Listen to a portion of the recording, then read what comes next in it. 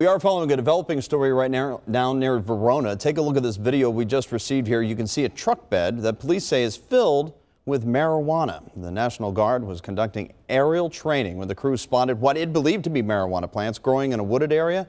Dispatchers with Gallatin County confirmed to 9 on your side they did arrest someone, and deputies with Boone and Gallatin County are now still investigating.